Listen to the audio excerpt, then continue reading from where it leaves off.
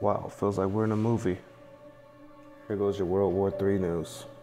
We have reports that Ukraine has done one of their largest attacks on Moscow to this date.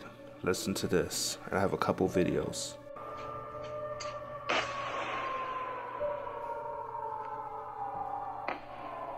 You can hear explosions and sirens blaring.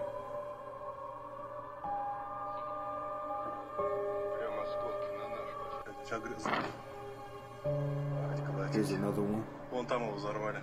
Видно прям было. Снял. Вон, видишь, значит. Вон дым. We also got a Lebanon attack on Israel as well. And we do got some airstrike videos on Israel hitting Lebanon. Here's another one. Hezbollah launched 50 missiles at Israel last night. Here's the airstrike. Here's Hezbollah firing missiles towards Israel.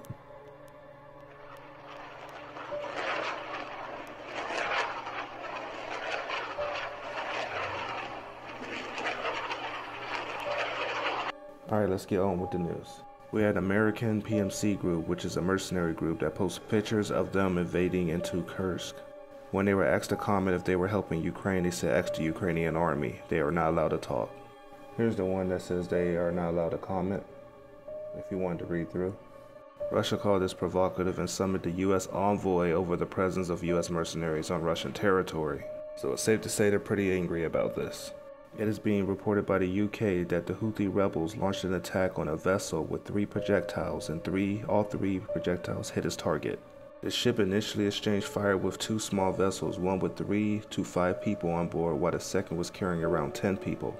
This report is fairly new, so I'll keep you guys updated with this. Here's another article of a tanker reporting attack off of Yemen's coast, of course.